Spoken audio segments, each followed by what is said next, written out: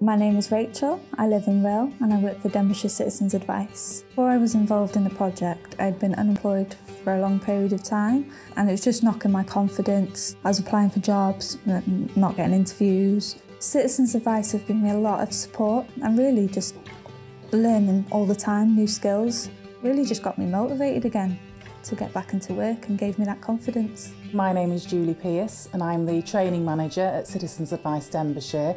Through EU funds we've been able to run an active inclusion project named Working at Citizens Advice. This project is for people who have been unemployed for 12 months or more or who have been economically inactive. It's for people who may have a work limiting health condition. Projects like this are important, um, especially, I mean, ours started up during the pandemic. People are more vulnerable.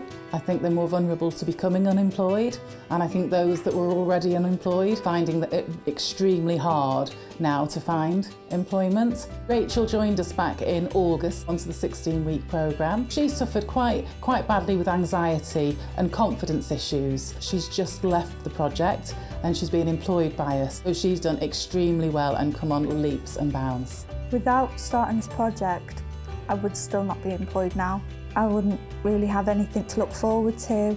My confidence would still be low. I think I'd just be still the same really, struggling to find work. It's just made me feel generally really well and happy.